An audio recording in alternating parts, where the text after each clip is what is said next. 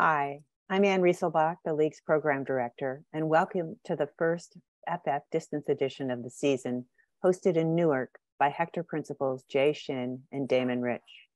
The FF series is an online reinvention of the League's in-person First Friday receptions, tours, and project reviews. Like First Fridays, these programs provide the opportunity to see recent and current projects, as well as to get a sense of where and how firms are working. This season, we are alternating FF online programs with in-person First Fridays. So next month, for instance, SOM is opening up their new studios to League members. Hector's presentation will include their development plan for the Newark Passaic waterfront and their community-based design process for Philadelphia's Mifflin Square. Taken as a whole, the firm's work provides an engaged, on-the-ground example of the overarching theme for this year's combined FF and First Friday series which features practices navigating the legacies and possibilities of American infrastructure from ecological systems and transit hubs to community facilities and social networks. Today's program will be introduced and moderated by Liza Fior. Liza is a founding partner of the award-winning firm muf Architecture Art, a London-based practice established in 1995, whose projects, as described on their website, range from urban design schemes to small scale temporary interventions via landscape and buildings, a continual dialogue between details and strategy. The firm is interested in the design of public spaces and in making spaces public. Following the presentation and Liza's conversation with Jae and Damon, the discussion will be open to all attendees. You can pose your questions in the Q&A section, but please use that section, not the chat section. Before we begin, a quick thanks to the League sponsors. This program is supported in part by the New York State Council on the Arts with the support of the Office of the Governor and the New York State Legislature, as well as by the League's members, whose annual support makes all of our programs and events possible. Please visit archleague.org for further information about membership and the League's upcoming events, as well as past programs. And finally, towards the end of the program, information will be posted in the chat section for those seeking CEUs for attending. Thank you. Anyway, I'd just like to say thank you very much, Anne, for that introduction. And thank you for the opportunity of um, chairing today. And so um, here I am in London, in Mare Street, Hackney. And it, it pains me that uh, a practice for whom we do feel aligned um, should be so far away and that we don't get to see Hector weekly to um, share the pains and pleasures of uh, attempting to make accurate work in the city with those that live there. Um, and I think what we do have in common is that the process is the project, as well as the project being the project. But on the other hand, the fact that what we have in common is the very specifics and being site specific and situation specific means that Hector's work is completely um, foreign and exciting. And, um, and so it is that very difference that I look forward to learning more today from Jae Shin and Damon Rich. And we've had the pleasure of um, having moments together, whether it was retracing the processional route in Newark, where the procession which celebrated the opening of the river park also was an enactment of the multiplicity of voices that made that same park, or the affirmation in Whitechapel of finding um, Mr. Rich measuring the cut curbs um, in one of the projects that we'd built, and then refining and developing that so much further um, back in the States. Um, a session in Barking, where student, Barking Town Square, where students who thought they knew where they were, were um, led to see the power structures that might have first been invisible to them.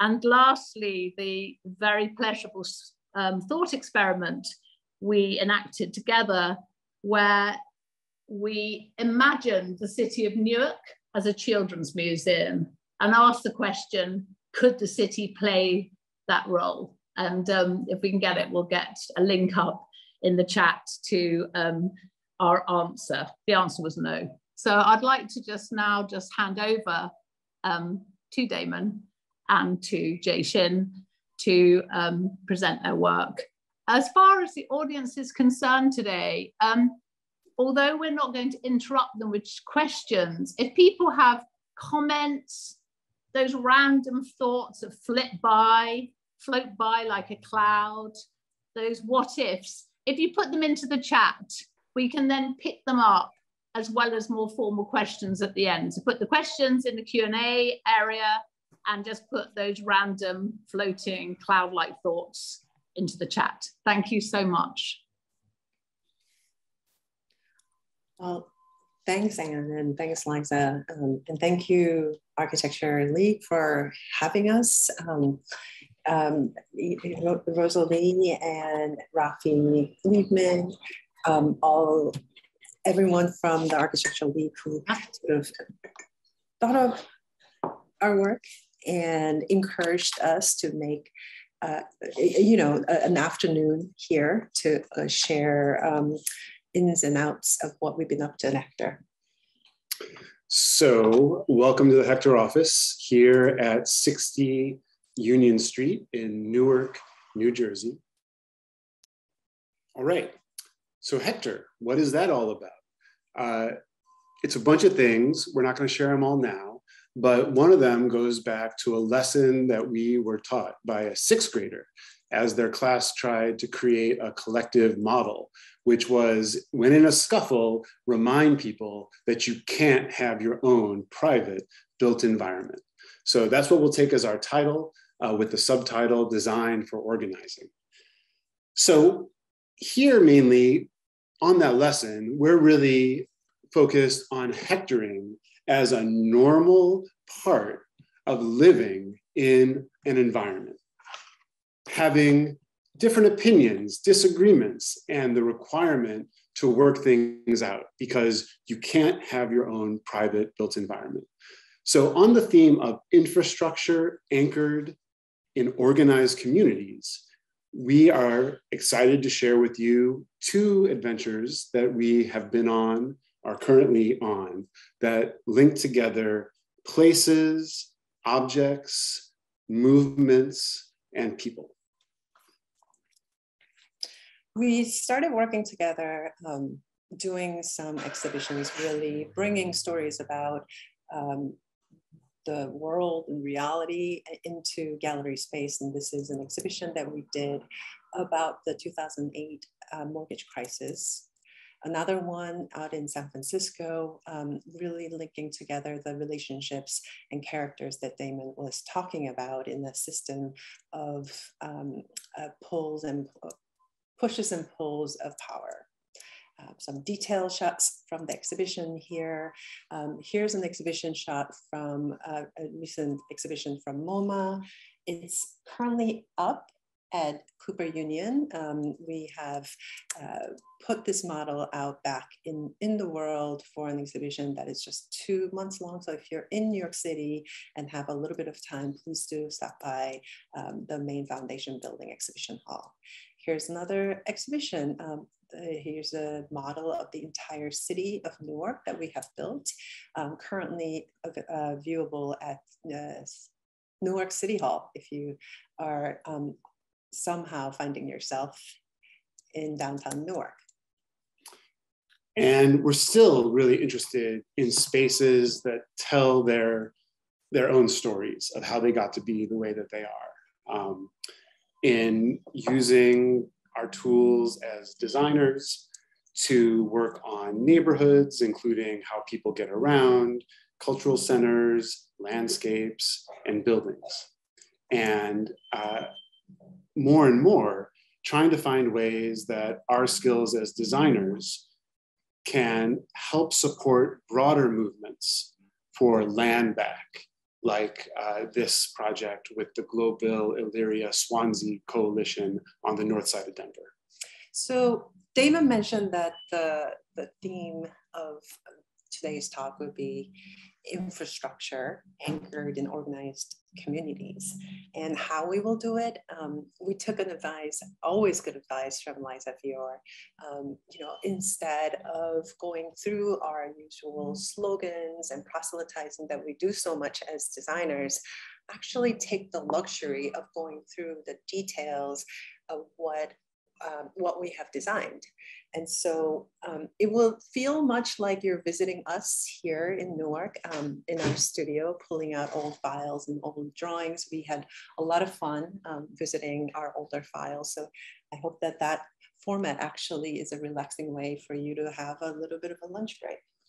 And I just got to add one more muf encounter to Liza's list when you visited Liza, uh, the Newark planning office, when I worked for the city of Newark, and we were re rearranging our office after pulling down all the partitions.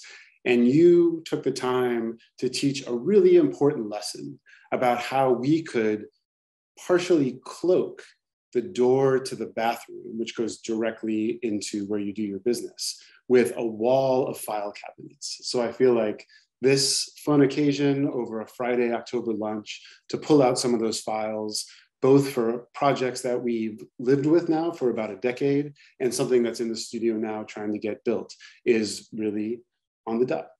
So here comes more story about design and less product proselytizing, I hope.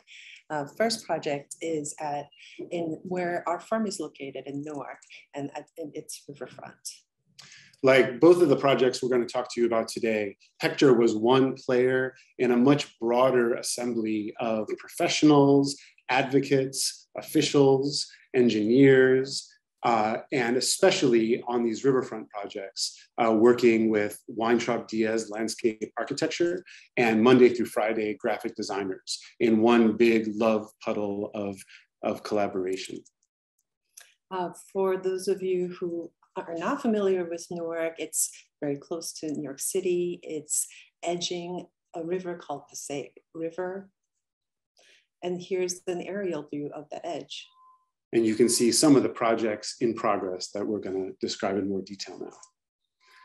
So we begin with one element of this riverfront landscape, which is a memorial to Sister Carol Johnston, who was a Newark native who was a sister of charity, and for the last decades of her life, one of the fiercest advocates for environmental justice, especially as regards the Passaic River. The memorial is composed of two very simple objects. Boulder. Boulder and a tree. A weeping European birch tree. And you can really see that this tree edges and looks over to the river. And the tree and the stone define a space where we all try to remember and summon Carol's spirit. With some of her writing on this water jet cut stainless steel panel. And it's a place of celebration. A lot of people like to um, sit here, remember her legacy. Talk to Carol. Talk to Carol. And you can see it, see it all over the social media.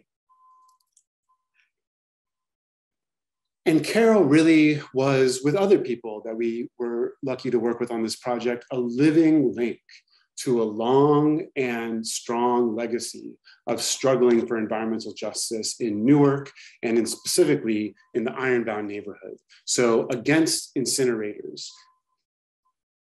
Against smokestacks that making that made Newarkers sick against garbage dumping at the ironbound um, part of the neighborhood, against the toxic waste.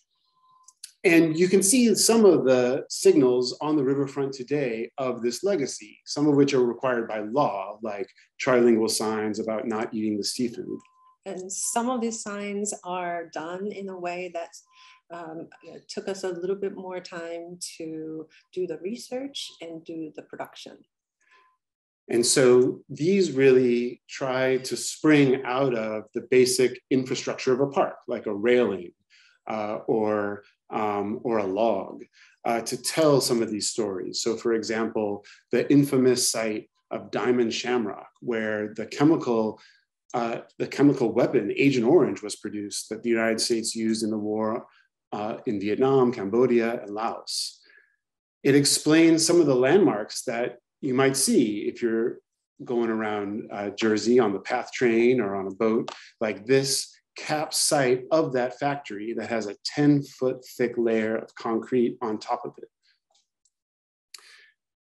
And as you go down this railing along the river's edge, you not only learn about real things that happen, like people looking out of their window and seeing men dressed in spacesuits vacuuming the sidewalks, you also learn about the ongoing struggle to hold the polluters to account.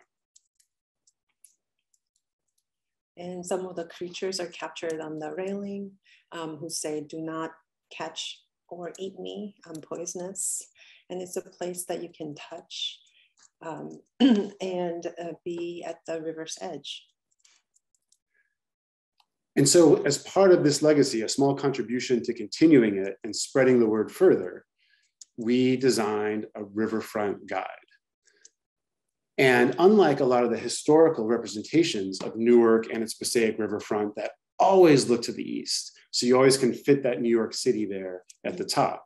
Um, and this is uh, typically how Newark was sort of portrayed in historical images. You can see Manhattan in the back. We really wanted to flip that and actually put um, the entirety of Newark in this map that we made. And to think about the actual architecture that you find around the city and how it might be conceived of in a river-centric worldview from the factories that are in the largest port on the East Coast that few people see unless you work there or visiting someone in the correctional facility.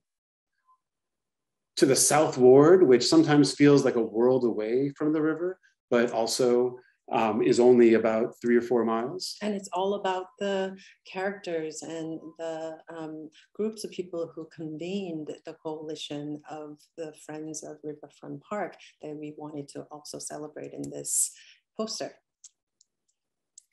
And so to that end, uh, it uh, includes information here on the left about various proposals for public access and public land. And on the right, the at times zany assemblage of the environmental politics of this place, from that capped diamond shamrock site to the largest sewage treatment plant uh, in New Jersey to the entire watershed and all the different creatures, including ourselves, who live there to the bottom of the river where the dioxin lurks.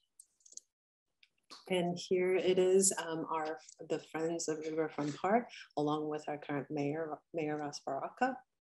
And they're really the ones who sort of um, programs and organizes all the events and happenings um, at the Riverfront Park, like this one, the performance at the Riverfront Praises by the Passaic, and um, Latin Jazz Festival. And they also are the ones who are who have become sort of um, experts in the political workings of the development along the riverfront. Because of course, all these things had to happen before anyone would have a chance to actually design and build something, right? The relationships of property, of regulation. And it was this group of friends of the riverfront that really held that to task and carved out the space for there to be a public space on the riverfront. So they were the ones involved in long-term debates about the development of the city and the rules for that. Um, they're the ones who are meeting every single month to deal with maintenance issues or to plan programs and activities that'll happen. And they put together um, co um, petition to make sure that this project is um, built and maintained. Um, really organizing the forces around the city, uh, starting from the young set of young people like teenagers that you see, and then, then Mayor Cory Booker. And this really provided the tradition for the beginning of the design process, which in this case was an existing uh, condition survey, uh, as Jae mentioned, done collaboratively with uh, a whole group of teenagers who had grown up along the river and brought with them all kinds of stories and rumors and speculations. I'm really imagining what the uh, riverfront should be like, um, perhaps in the in the far future of 3000. And we, um, similarly to those kinds of activities, we've done uh, boat tours along the riverfront, um, learning the history and just being out there on the river. And for us as designers, this tradition of organizing, this set of activities is what it made possible to conceive of the design work that we were about to do, to think of this contribution to this landscape as one new family member in a whole strange cast of characters from the Penn Station to the new soccer uh, arena um, and to somehow think about the relationship that we hope that this built thing would have to its surroundings. So to that end, we have organized this presentation um, by those objects uh, that are that exists in the field in relationship to one another, and you can see the aerial view of the same um, same area. So the first element is the street. Yeah. So to get to the riverfront at all, one has to begin in a historic park, 100 year old park called Riverbank, and then cross a local but very dangerous street where a couple of people die every year called Raymond Boulevard. So the first thing we had to do was to put a safe um, street uh, crossing uh, with the, the, the light. Um, but you know, we also realized that this plan to actually have the riverfront park edging an existing um, existing riverbank park was in the plans since um, since the 20s. And back then, this crosswalk was imagined as, a, uh, as some sort of tunnel out, going out to the river's edge. Yeah. And so this part never got built, uh, to be clear, but the, but the part on the south side of the, of the street did. So as you can see, here's the entrance without the crosswalk. And then after we were able to install the crosswalk. So we had to find another $200,000 in our budget just for this equipment talk about infrastructure. And talking about infrastructure, the part that we part of the park that we are discussing is really a, a, just a smaller portion of a larger system of the park along the riverfront, and uh, some of which have been built um, uh, is, is, continuing to be built uh, to to this date. And so this is the second segment that was built uh, that we were uh, the most involved with the design. Um, and so here you can see it's a fairly narrow site, uh, has some wildness in section. And the attractions here were about these moments along this kind of fairly narrow way. Um, so as you come in, what we just were looking at is this crosswalk on the plan, and then it takes you to an entry, a little cleared space. And here it is as the hat on that historic park. So the entry is, um, edge of the entry is a railing, a set of railings that sort of embodies the characters of, uh, from, from the history of this place. Um, like the donkey that you see from the canal that um, will show you the historical photo, but it required a lot of sort of making friends with these characters that we have learned from learn, uh, the street. But of course, in the designing of it, really thinking about the relationship to our bodies.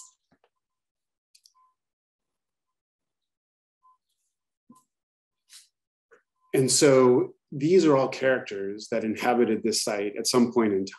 And this railing kind of serves as this initial curtain call, like the beginning of a play where it lists all the characters. So, for example, transversing this site from the late 1800s till the end of the 1920s was the famous Morris Canal that went up more altitude and down than any canal in history up until that point. And to move the boats along were these donkeys. And the canal was in the end covered over at the river's edge, but we um, love seeing this donkey and his friends in the production shop. And so, what if these spirits inhabited the wood and adjusted its shape? Um, and some of the friends didn't really quite make, make the cast, but um, if you were to visit our office like you are doing today, you can meet um, some of those other characters here. So we made a final composition that you know really involved like the most recognizable characters, the ones that played the most significant or curious roles. Uh, these were just cut out of laminated timber. And here it is uh, finished and assembled in the shop. So you see trees, a gas holder, factory, and canal boat, donkey, Lenape people, some of the fish and birds that live there. and installed, um, of course, without initial troubles. Some initial troubles. Some initial troubles.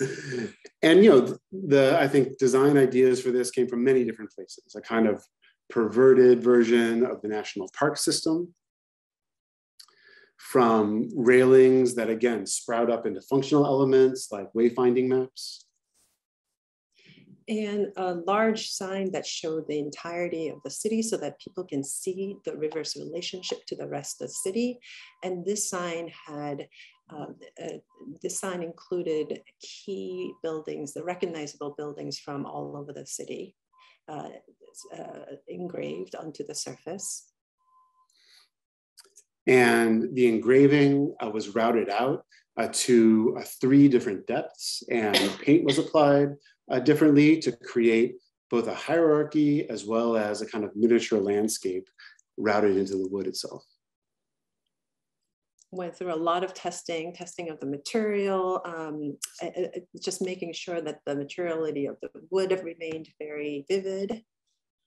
And this really was one small gesture towards saying that even though this riverfront is in some people's neighborhood, it has to be a place for the whole city and even the region beyond the city's boundary. Uh, these are the four languages most spoken in Newark, Spanish, Portuguese, English, and Haitian Creole.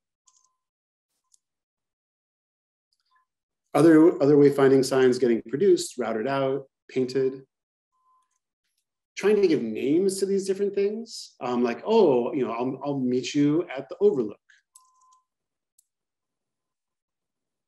And so as you walk in along with the, the railing and signage, you'll also see um, on the ground uh, engraved uh, granite markers um, that has the poem of Langston Hughes, My soul has grown deep like the rivers.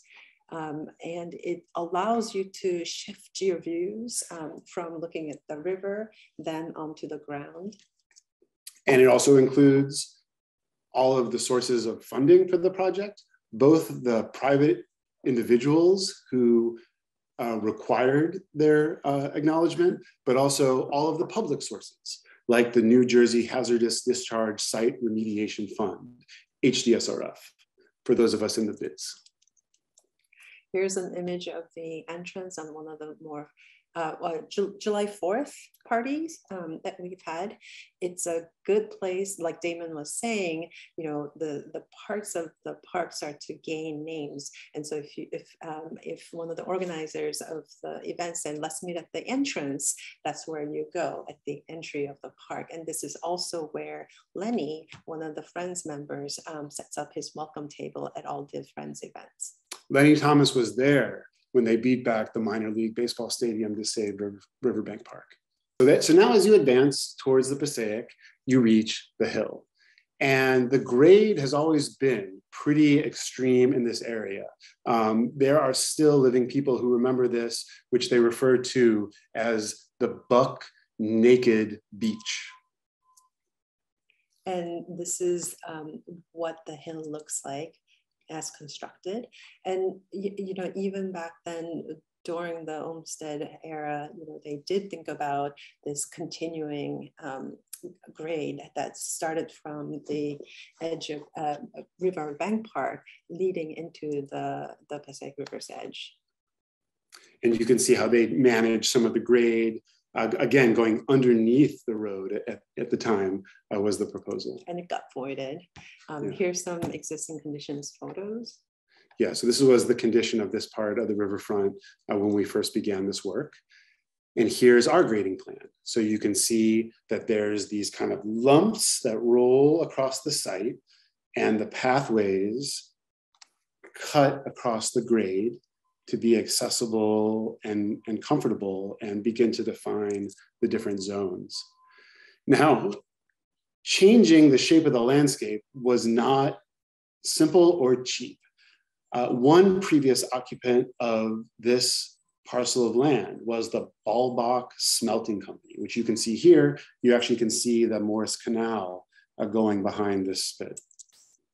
And they did all kinds of things to take precious metals out of rocks.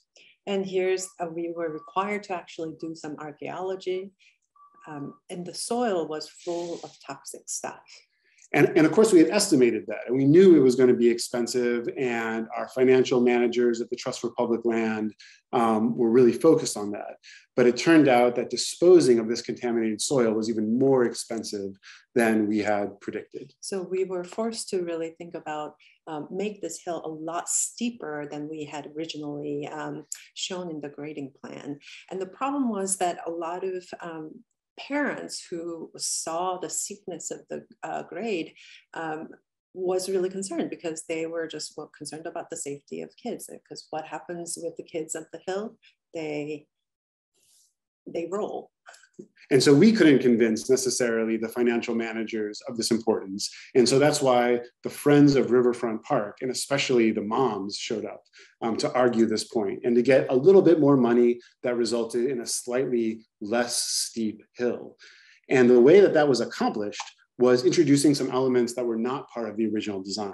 So you see this bench that cuts across the landscape um, and here it is in section, a gravity wall, uh, and that allows the grade to drop much more steeply than we had originally considered while keeping the landscape portion not scary uh, for, par for parents.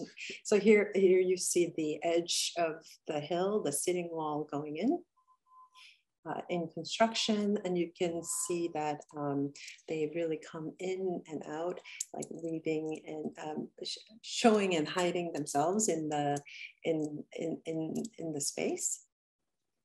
Kind of creates like a little secret path uh, that that of course like younger people love to love to walk down. Um, and so you can see the series of kind of thresholds defines uh, the space as you approach the riverfront. And we still couldn't afford to dispose of all the soil we needed. And that resulted in some playful lumps uh, over by uh, the, the roadway. And all of this is celebrated and elevated and held up uh, by a log sign uh, about the Balbach smelting works, both how it worked technologically, but also about the politics of the environmental cleanup and how that is funded. And here's how we research where exactly those uh, uh, smelting companies uh, uh, elements were. So we had to find out what, you know, what acid room was. And we, you know, um, make sure that it's written in our signage that, um, you know, all the accidents that had happened covered with hot metal was illustrated and captured in our, in our log signs. There's like labor unrest organizing. There's uh, employees that steal precious metals. There's explosions. Here's the signage at the um, at the shop, and you know the hills also really allow us to manage the circulation along the site. Lee Weintraub insisted on steel edging for the asphalt pathways. We were happy that we did that. And all along the, um, the paths, we have these uh, signs that, uh, educational signs that you have seen um, so far. So here's one about uh, Lenape people at the river. And these log signs come from places like uh, Archigram's log plug, but also just national parks standards, like turning boulders into fountains. And so here you can see how the log is held up by a steel armature and uh, with a footing in the ground. And uh, you know, these talk about the use of people, the use by people of technology in place. So whether that's Lenape fishing technologies and, and preservation, which was uh, described and reviewed by the Nanticoke Lenni Lenape Indians of New Jersey, or the technology of the Morris Canal that moved those boats up and down the hills. And of course, the his, uh, history of uh, Spark, the folks who saved the River Bank Park from being sold into and um, be becoming a site of local baseball team. This one was like the hardest because we were trying to draw people who were still alive. And so getting their clothes or their hairstyle right uh, became a pretty important thing. And so accumulation of characters and people, and really um, the group, uh, the Spark now Friends of the Riverfront Park, uh, you know, do the maintenance work, cleaning up, making sure that the signs are fresh and clean. And the, along these paths, you can really sit and rest. And also these hills become a place for um, audience for the performance at the, at, at the river, river's edge.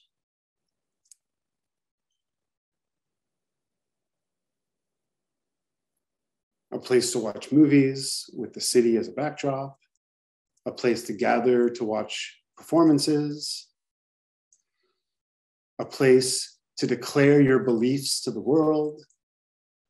So we should go through the edge pretty fast. Um, uh, we have a boat dock that we had installed, and that's how there's yet another way of approaching the park from the river itself.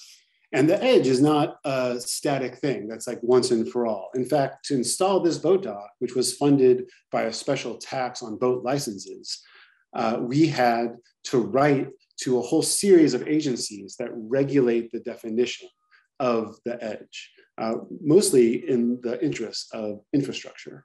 Um, so this is a memo inquiring about a one-time grant or other riparian instrument uh, that would allow the installation of a boat dock.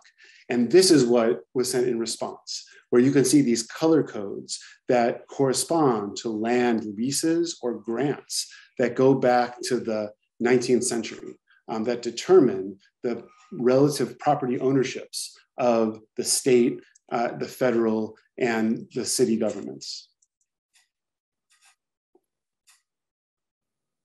Should we talk about? Yeah. So another piece of the of the edge uh, has to do with the Army Corps of Engineers trying to address the issue that the upper part of the Passaic River, up in the suburbs, uh, at some distance from Newark, persistently flood. And their idea was to build a giant flood relief pipe that would go from those suburbs underneath Newark to release in Newark Bay.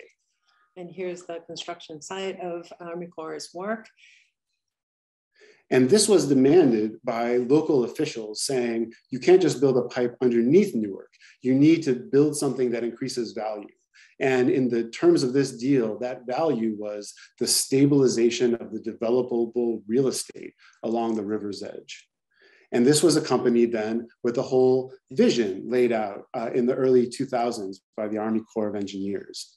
Of creating public um, access along the river um, of course, uh, you know, the, the bank, the, the infrastructure of containing the river got, did get built, but this public space that you see on the right hand side was of course phase two. So. And in fact, the infrastructure in places failed um, fatally failed uh, before that could be accomplished. So what we had was this precarious edge at the riverfront and no public space next to it. And sometimes this uh, failure also happened. And so this is what we mean by infrastructure that is not anchored in organized communities. Um, this, this was actually a vision um, uh, outputted by the Friends of the Riverfront as well as um, ICC, Ironbound Community Corporation, and that we really took um, their vision to heart that there has to be public space that is well sustained at the reverse edge. It just can't be only you know infrastructure that contains the edge, but it has to be an infrastructure that contains people. And so the edge is defined by a continuous wooden bench uh, that is covered in a recycled PVC plank. Here are some amazing detail work at the construction site, um, the, the edge details. And along this edge, the design tries to establish these places to hang out. Um, little nooks and, and crannies, not a regular straight line of an edge it just becomes a really good, nice um, place for uh, hangout in different numbers. There's the distribution of the seating places along the edge. And so you can see that we have we have placed different types of seating furniture. into these um, very characterized spaces that are sometimes round and sometimes pointy. And this becomes a place to take in the city in a different way. Um, a place to gather up with friends in one of these indentations. Place to go after your um, uh, Catholic services and take family pictures. A place for dance parties, oftentimes, um, comfortable spot to sit around and be contemplative. And so finally, when you reach the water's edge along the orange boardwalk, there's a series of engraved railings that tell these stories, like the dioxin disaster that we mentioned before. And we were able to work with Monday through Friday and an illustrator named Marion Bizet to define an illustrative style that could communicate these really wide ranging stories. So for example, one of the things that had to get done infrastructurally before a park could be put in was a netting chamber for the combined sewer overflow that looked like this once they were done. And the hope was rather than this just being a strange thing that you notice or not in the landscape, to actually have it be celebrated and called out and given its story. And so, for example, the story of sewers in the city, from no sewers to the first sewers to sewage treatment plants to what happens today when the sewer overflows and it rains to the explanation for the netting chamber that's being installed you can see the wildlife and maybe identify what it is, understand some of the older infrastructure like the swinging Jackson Street Bridge, and understand the history of development and use of the land, like this landscape of Harrison, New Jersey across the river. And people make rubbings here, um, so it becomes a destination for field trips. And some people express themselves on the uh, railing themselves. Rich game. Um, I didn't do that. Yeah. A romantic evenings, um, girls' night out. So I just wanted to wrap up this project by saying, you know, this place with all the characters and spirits become a place that is recognizable for the rest of the city. And the story isn't a simple sort of um, before and after shot, which is what we see a lot in um, in a lot of those design presentations that we give that there is so much more before the before and after the after and everything in between.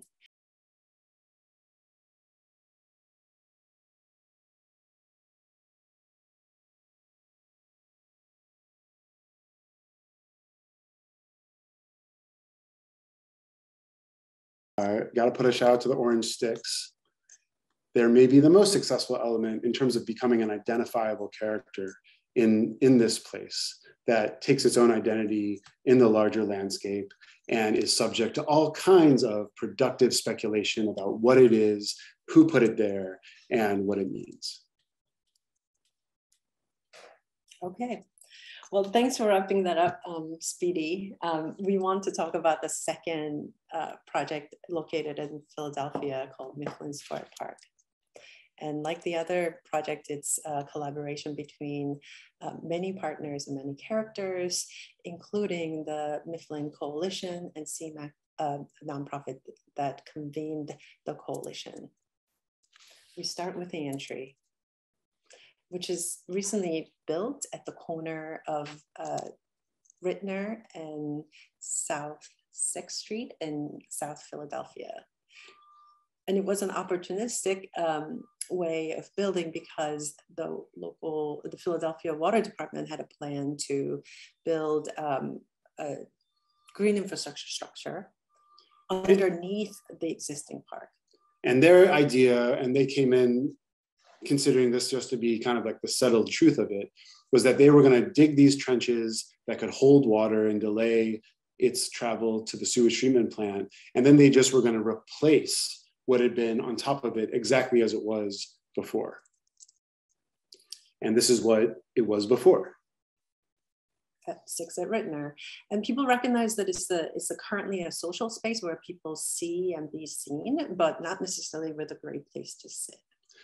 And so because this was maybe three years into uh, working uh, with these groups about this park, uh, people were ready to recognize that they could use their design, the community's design, to advocate for the water department to put back something different than what they dug up to put in the green infrastructure.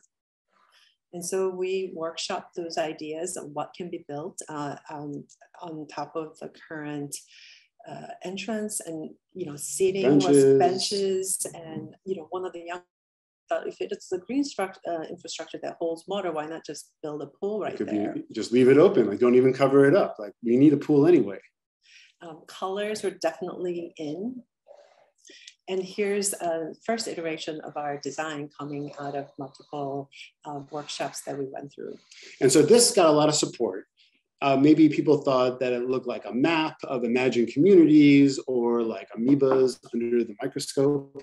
Um, but then we had to figure out how to build it. And it turned out that the water department was willing to lower their slab the three and a half inches that it took to, to accommodate some decorative brick, but they weren't willing to uh, supply the brick itself.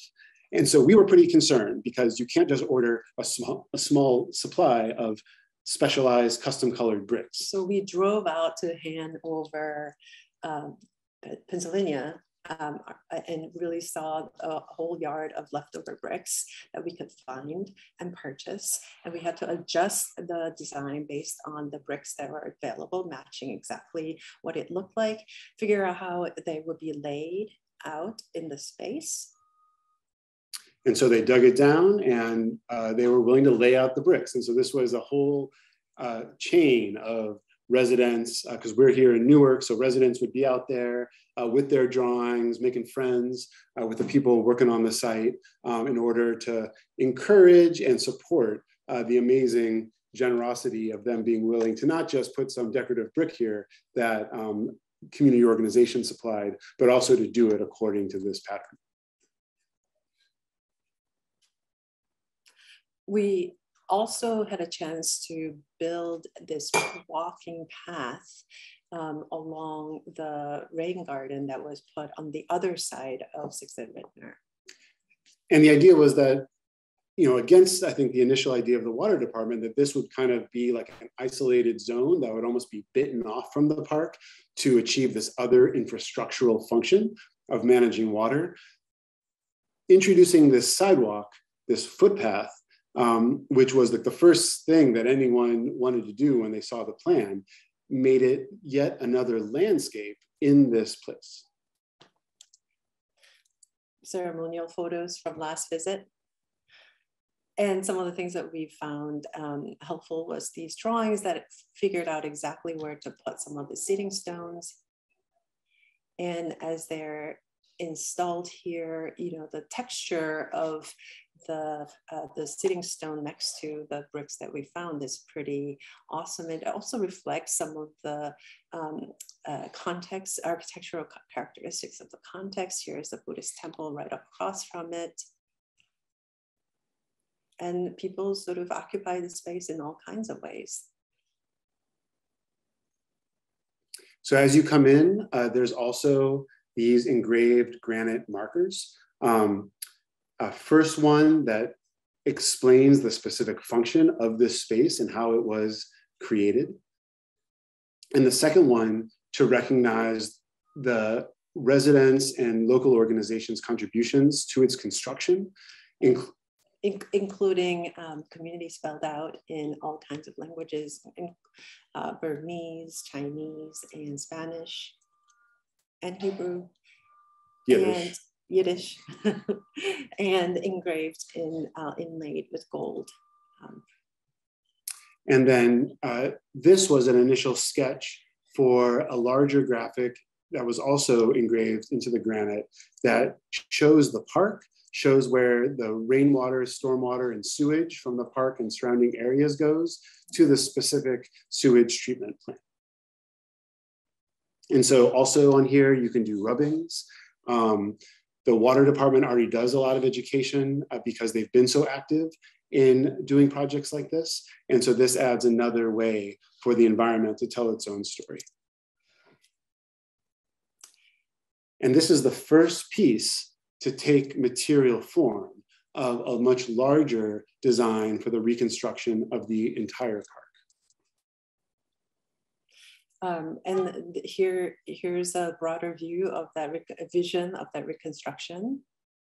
And we'll walk through some of the components of it, but really wanted to set up the context for 2016 when we um, uh, started to work on this project was when the Trump era started along with the Muslim ban. So this area of the Philadelphia being very densely populated with people from all kinds of places um, meant for us, um, you know, a really meaningful project to be engaged in.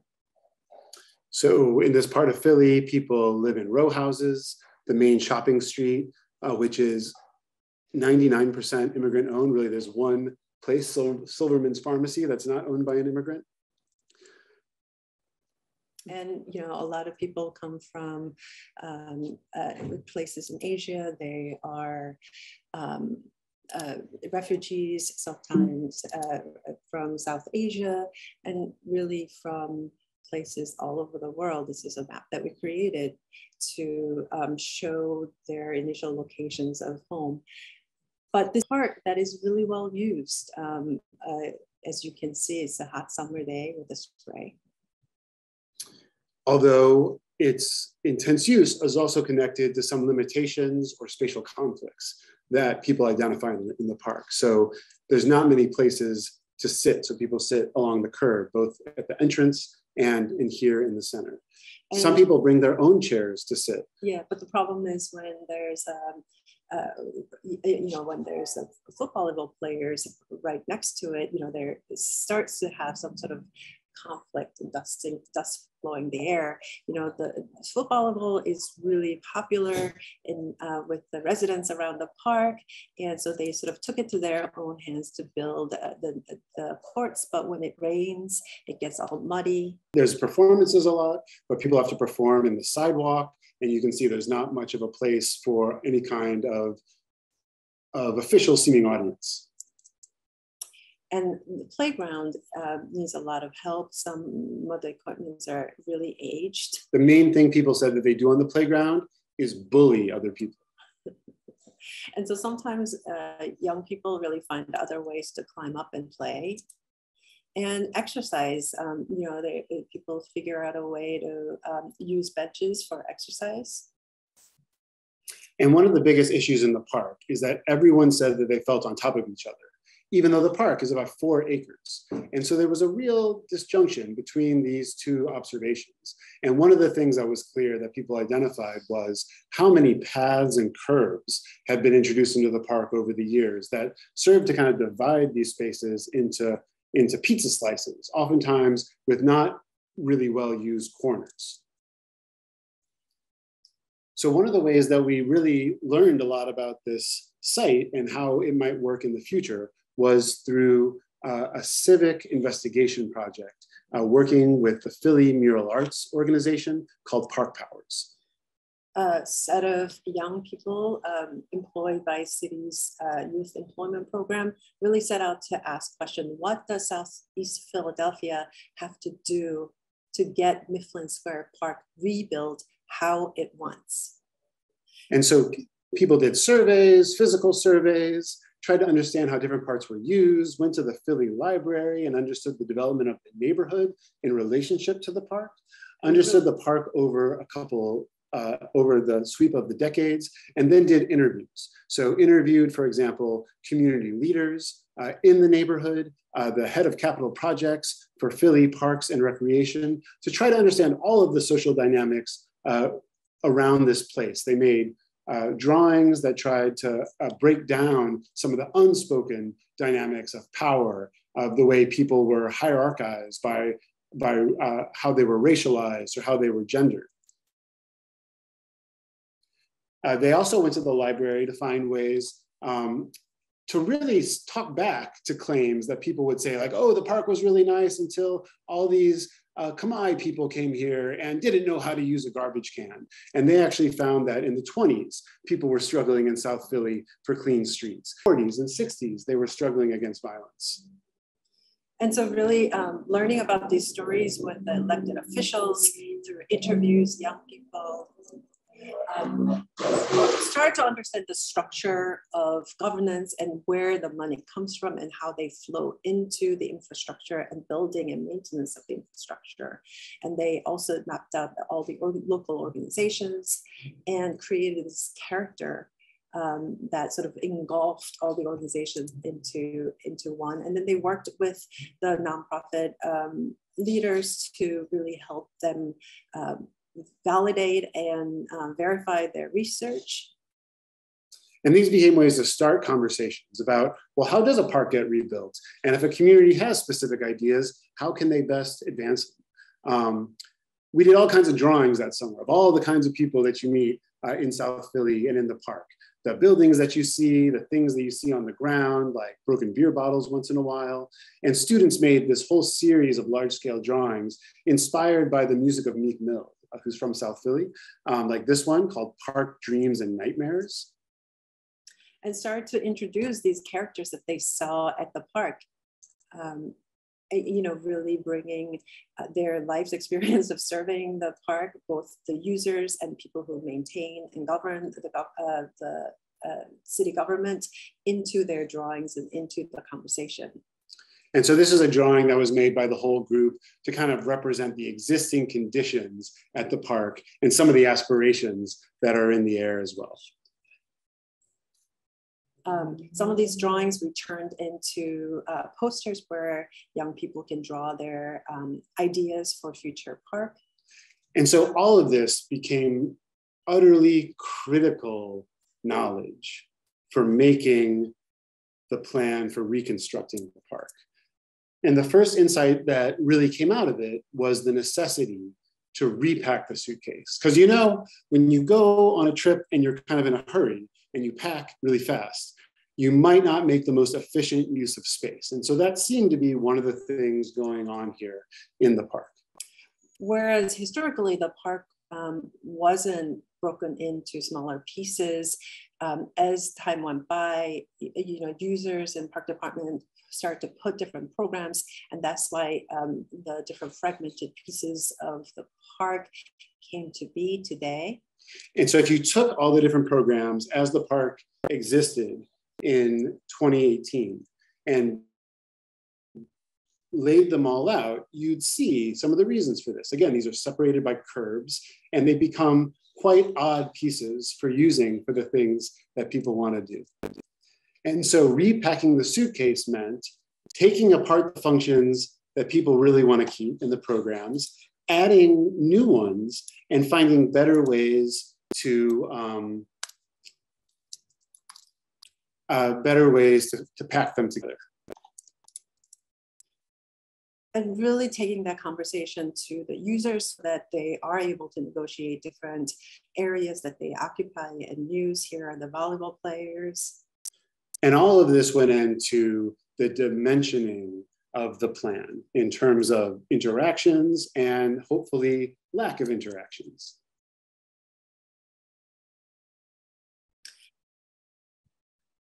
So to give you a rundown of the elements that compose this. First is a sports yard, because it was so important to move the active sports played by adults that sometimes were accompanied by alcohol drinking or a little bit of gambling away from the quieter areas where elders wanted to gather or where little kids played.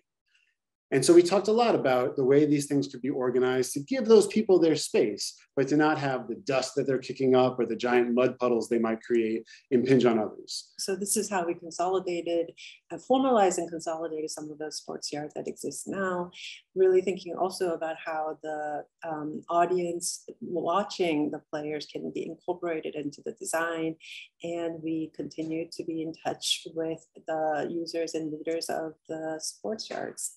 So second element, which is play for younger people, we talked a lot about the shortcomings of the existing playground and through a lot of interacting with models and objects talked about some of the important things for a playground first of all having separate spaces for different ages to slightly decrease the, the inclination for bullying to create a kind of protected and like hugged space. Which was an important idea for the parents who, you know, really wanted the play area to be a major, well, well uh, protected area within the park.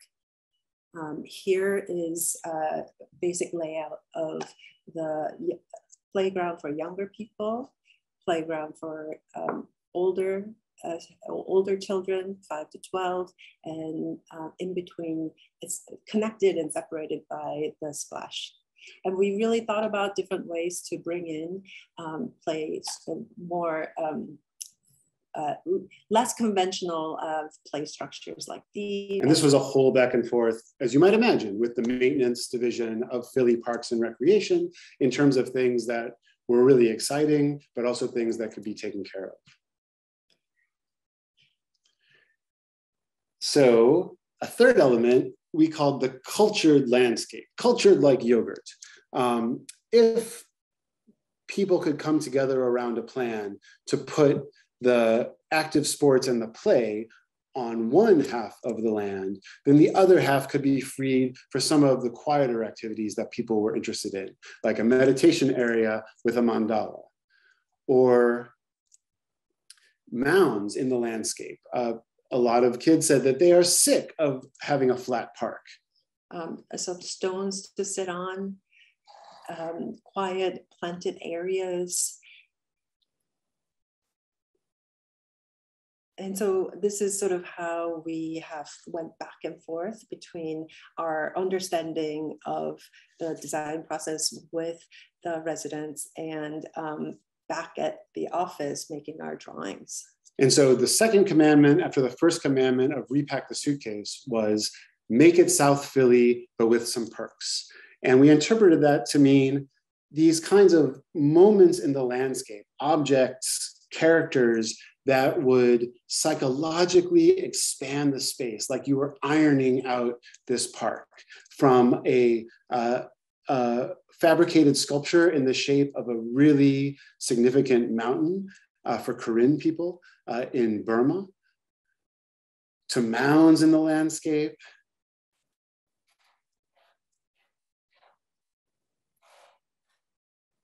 Finally, it's really important that we think about the way people occupy and gather uh, around, around the space. So we talked about how there is a need for you know, a, a, visible way, a central way to mark those gathering places, sometimes as simple as benches. It was like, how many people do you need to, to play a good card game? That was like a big debate. Exactly. And then we um, tested out some of those ideas with these um, uh, temporary sitting structures became, uh, and, and we also wanted to preserve the way people sat at the edge of the park and so some of that is realized in that new entry at Six and Ritner.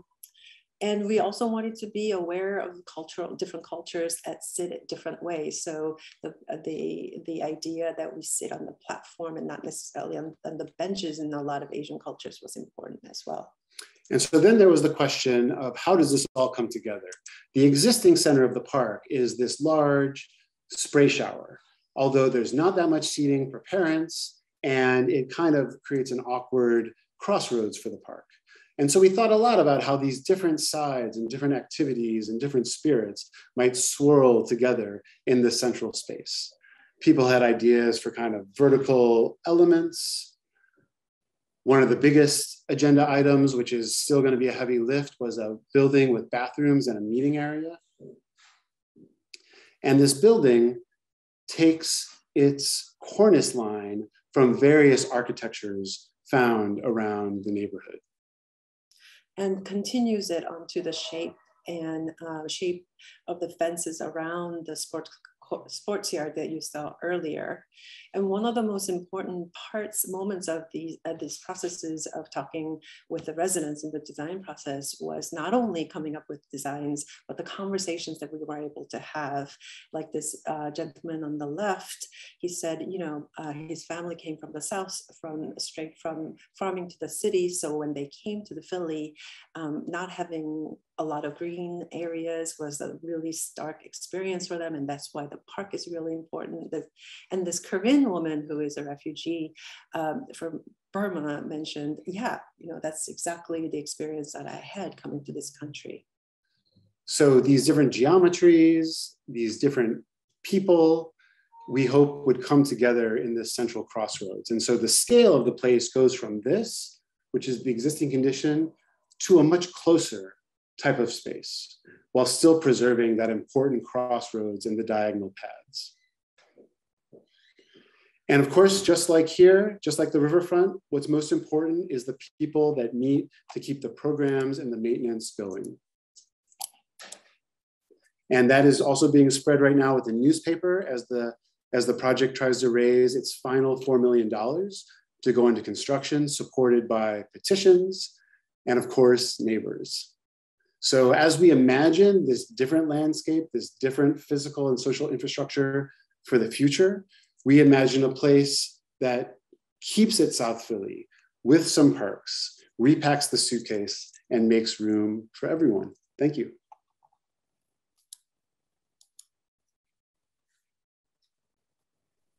Great, thank you so much. Um, I rather than I want to ask my questions last because we make can make some space for our audience. And it's a pity that the whole audience can't put um, their cameras on because we're sort of talking into this void.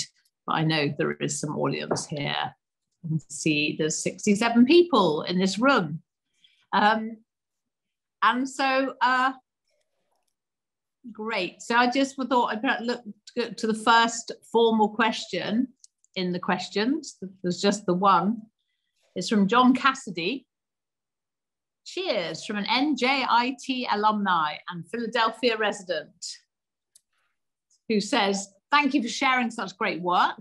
I'm wondering if you have any words on the, to the wise on patience while working on these public longer term projects or any project that's open to the hectoring of urban life. And I suppose that that question where um, we're all going to use this phrase that there's the before to the before and the after the after, the before and after shots. Um, you know, so John, John to John to chime in. Is John allowed to speak?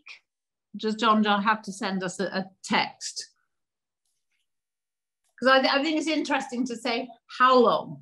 You know, I always say, well, we have to just keep taking our vitamins just text because because the great thing in a way with very long projects is you have longitudinal research. And the as the longer the longer the before of the before if you do it right the stronger the trust relationships and the less time you have to hang around in the after of the after because the project's been handed over to others so yeah. maybe John, maybe John can just give a time frame when he was like, let's have a look. He said something. I know that's somebody else's question.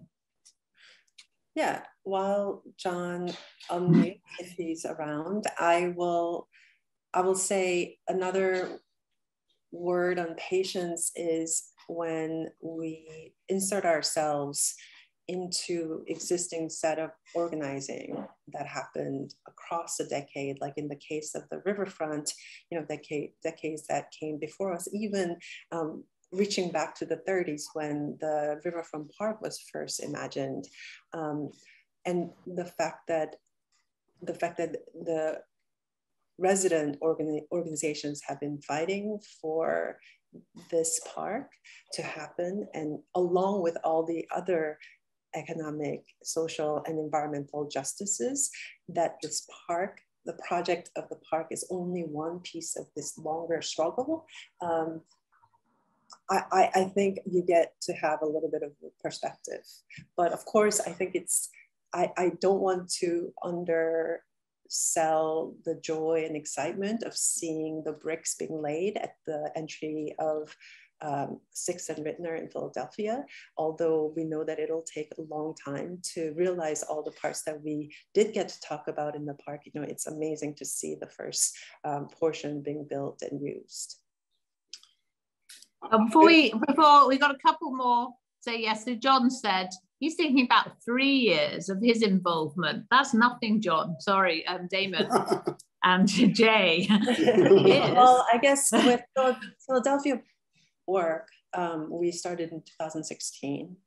And we have, you know, um, renewed, thankfully, our contracts multiple times since then, and it's still an existing and robust pro, uh, project in our office today. Um, and we got uh, before we go further, um, Anthony's asking, can you tell us something about what you're up to in Detroit? Anthony, are you a, a Detroit resident? Concerned that you haven't been invited to come and play? What, what are you up to in Detroit, you two? Yeah, and Liza, I, I do see in the chat that participants cannot unmute if they can only. Yeah, text, yeah, no, that they're texting. John, John's chatting away. Yeah, he's laughing. Yeah. Anyway, but I'm moving back to Anthony and his question about yeah. a few words on Detroit. Yeah. Well, I would say that Detroit has been, I think, a challenge for our system of keeping the faith that John asked about one small confession is that as a young child, I guess in the in the information age, I uh, was a part of something that now seems very embarrassing with some of our national headlines over here called the Important Papers Club.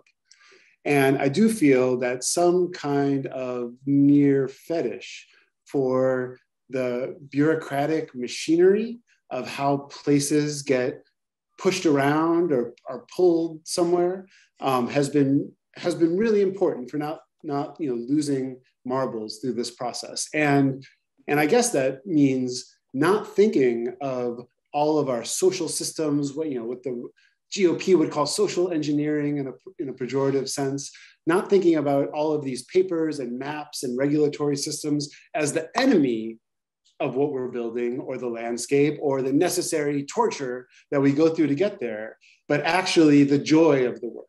To see, to be a tiny ant and to see these small pieces either falling into place or falling somewhere else, uh, and to see this, you know, again, in honor of of Latour, who became an ancestor, this vast assembly, right, of objects and people and politics and documents that it takes to do this work. And as far as Detroit goes, um, we were hired by the city government uh, to work uh, with a number of neighborhoods on the far west side under the names of Warrendale and Cody Rouge. Uh, so this is uh, like uh, Joy Road community, Waco, places like that on a neighborhood plan. This is like 30,000 people. And the special twist on it was to make it a youth-centric plan. The Skillman Foundation, some others went in for half uh, of the budget, and that was their request. And so the challenge, which is still playing out there, is what are the priorities of a community and a set of young people when it comes to how they get around their neighborhood, the houses in their neighborhood, the parks, et cetera, and what is the city apparatus of bureaucracy willing to heed. So, so um, the advice to the advice to the anonymous attendee who says, "I'll pick you up, Jae." Um, have you got some tips for designers who want to get into the field is embrace bureaucracy, embrace limits, so that that's because this is some of the the material of architecture. Is that is that fair to say?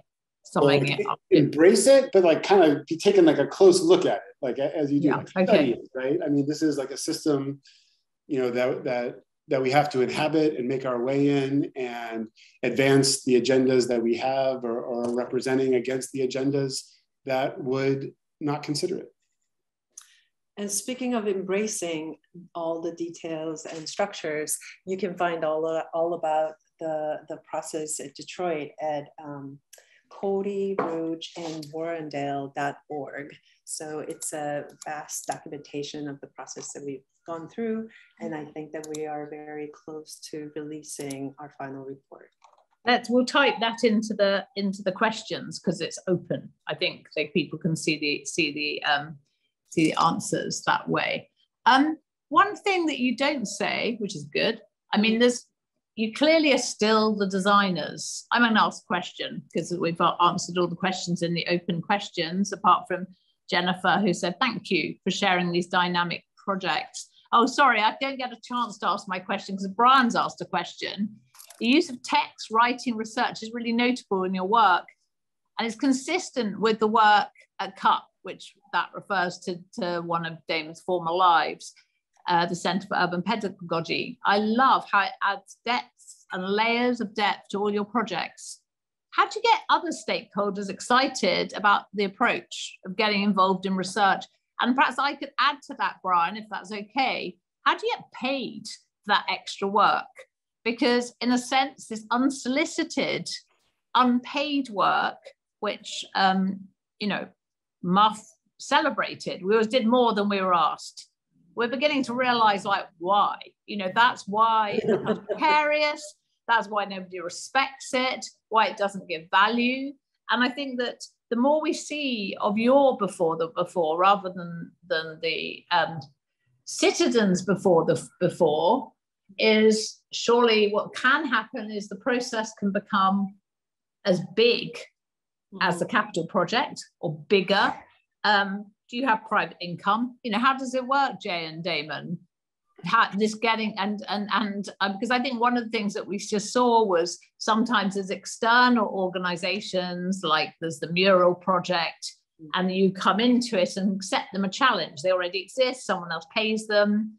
But do you have situations where nobody's excited and they're just like could you just be designers and get on with it? Well before like Damon, Damon answers it I do have to say. I've got look, look here I am. we don't have private funding um, but sorry we we we do have to afford our salaries. Yeah. So so one devious innovation that I think we stole from someone is phase zero. And definitely the you know the arguments or, or persuasive approaches towards a phase zero differ on who you're talking about. Um, for like an upside uptight city government. It's about like uncovering the landmines before you walk across the field. Um, for a group like uh, SEAMAAC in Philly, it's about building your ranks um, before you start really putting your shoulder into the into the big effort. And so, you know, in terms of excitement, you know, I think that it is um, it's like one of those people with the dowaging rods that's looking for water. It's our job to keep on walking around with our stick until someone gets excited. um, and, and certainly part of that is appealing to people's interest in their own lives, right? Like understanding where people are coming from, understanding how, say, Mifflin Square Park was supposedly the neutral ground between like the Italian or Irish gangs and, and the black gangs uh, in the 1950s and 60s in, in South Philly. And so being able to talk to people about that um, is always exciting and, and generally always brings out some kind of stories. And, and for a lot of our um, clients, who they themselves are community organizers and who they themselves spend their lifetime doing this kind of work before work, work of bringing coalition together before launching onto your own project um, because they're you know, naturally um, aware that this is critical part of getting anything done, um, we have found that our way of working uh, sometimes doesn't need a lot of convincing. And in fact, our partners actually do want that phase zero to be very well structured and well funded. We also call it the door knocking phase, if, if that is appealing to people. And um, can I just jump in? I mean, the, the, orange of the river park is very orange, and and uh, uh, you know it's easy to imagine that this is the reclaiming of orange for Newark, reclaiming it back from evil Agent Orange into something more jolly and playful. How many people are involved in choosing that shade of orange? Because maybe there's some people who just didn't like orange. I mean, it is, you know, because it's a kind of, I don't know what anyone else thinks in the audience, but that this isn't um, a kind of participative practice mm-hmm. where Jae and and Damon recede. I assume that or or that you hate orange, but somebody chose orange, so you just went ahead with orange, and maybe to sort of, you know, that this is the Architectural League of Architects Mm. And and I wish it was compulsory that all architects in had to all go to each other's architectural league talk so that somebody works on one of those pencil towers designing somebody else, some clients you know, wardrobe would be coming to your talk and you'd be going to the wardrobe design talk. But um, they, you know, it's just, it's sort of interesting that, that are you actually, you know, when do you recede and when you don't? Hmm. Can you describe something you absolutely hate, but you included it because it was part of that discussion? Yeah. Well, I'll let Damon answer um, the question about orange. Um, but say, say, but I would say you're a myth in you know, moment. yeah. but I think that one thing that I want to add even before that is um, this notion of participatory design. Um, the way we see it is not necessarily about you know number of options, but really having a conversation um, about things like location of the volleyball court, whether it should be, you know, next to a set of play playground equipment or next to a you know more quieter edge of the park and really having a process oriented conversations um, and really allowing um, discussions about pros and cons of that decision making to take bigger space than this celebrated opportunity to pick the colors, pick the equipments, um, and things like that. So, you know, I think we um, so someone really wise from our team mentioned you know it's it's it's much more productive to be arguing and negotiating about a location of the volleyball court than the definition of equity. Well things that i hate that got included in projects. I mean, it's always because of a negotiation right? It's always because yeah of you know this hectoring of urban life, as somebody said. So I can think of well, like we were talking about, you know, the first time that we were talking about doing the riverfront park in Newark, everyone was like, "Oh, great, you're going to have a riverfront park that everyone's going to die crossing the road," and so we had to find 200 grand to pay for the stoplight. That also included the first, as far as we know, road diet. You know, where we went from three lanes going one direction to two lanes going one direction. And that was a knockdown, drag out, legendary debate with our streets department.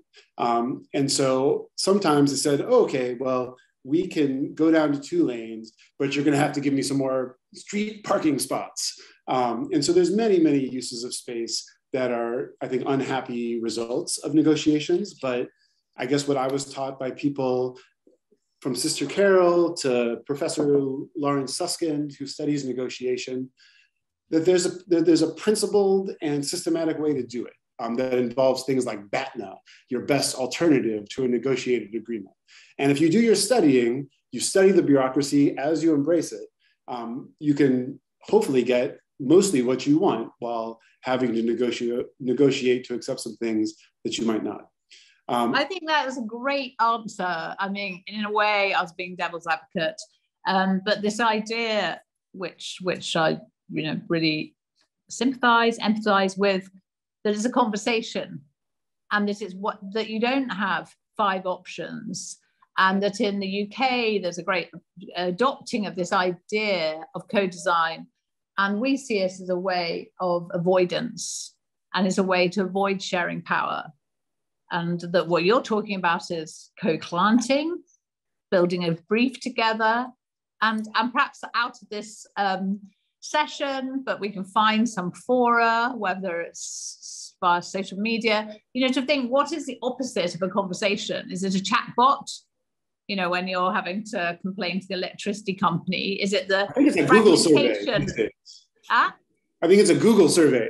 When the design process starts with a Google survey, it's a mm. really iffy proposition. I mean, I think one thing you're bringing up that's so critical to us, and it's such a threshold in, yeah. in so many of our projects, is can you move the negotiation into the realm of drawings? And one of the ways negotiation people talk about this is let's get people to talk about their interests and not their positions. Because mm. as soon as it's on a drawing, then things are adjustable right? It's no longer my way or the highway. It's like, oh, well, how wide is the highway? And what's alongside the highway? And like, what kind of lights are there on the highway? And, you know, all these different things. And so that is really critical. And, and the only quick thing I'll say about the orange, which is, yeah, that was a time where we weren't taking votes about orange. Um, Lee Weintraub, our collaborating landscape architect, really was interested in teak. But teak requires a whole political calculation, and we calculated no. So it no longer had to be wood colored if mm. we were mm. going to do this other thing. And I feel like the whole trick of that was treating meaning as a projective exercise, right? It wasn't about, oh, orange is Agent Orange. It also was about orange is like the orange chakra, which is the water chakra for the for the yoga practitioners mm. in the mm. crowd. Um, it was about like the safety surface, you know, along that edge, like a threshold. So it almost was about as many possible things that it could be. Um, and the boardwalk kind of did that. I think the orange sticks really got an A plus in terms of becoming a screen for people's projections. Yeah, and it's complementary to certain shades of green. So, um, and the nice thing is, Damon, is that you've answered the last question. So I think we are going to, sadly, we're just warming up. We're just getting ready.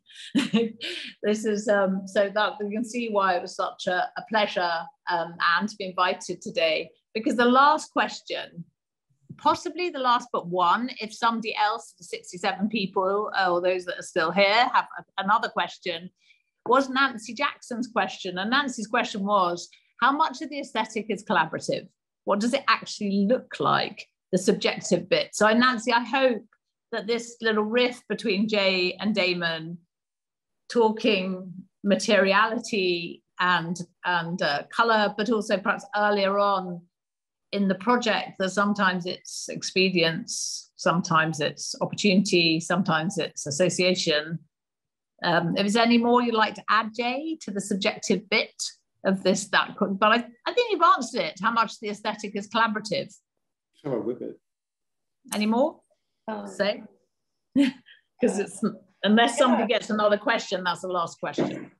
Yeah no i mean the notion that damon talked about where you know the negotiation table is become visible you know, through making of the drawing um, reminds me of um, you, you know, a, a, big lesson that I learned reading um, a book by no uh, by Jane McAlevey, a community organizer. Um, the book's titled "No Shortcuts," and she talks about the difference between mobilizing and organizing. Um, you know, mobilizing, you know, protests, getting people out there, uh, making the body count, hashtags, and in Instagram campaigns brings the people out and we can see the number of people excited about the, um, the, the, the, the, campaign. But deep organizing, according to her, has to do with embedding and working closely with existing interests and organizations like unions um, that make up, you know, teachers uh, working in our cities, hospital workers, and uh, domestic workers, and really allowing your campaign to be about sort of the structure that will that has existed and lasted um, uh, will last beyond your campaign. So, I mean, I think that reading that book for me was a big lesson in these notion of participatory processes or subjectivity because you know if the drawing both function as these objects of joy for myself as a designer. Like I love making the drawings that I've shown today, but also can function as a negotiation table where the interests of different groups,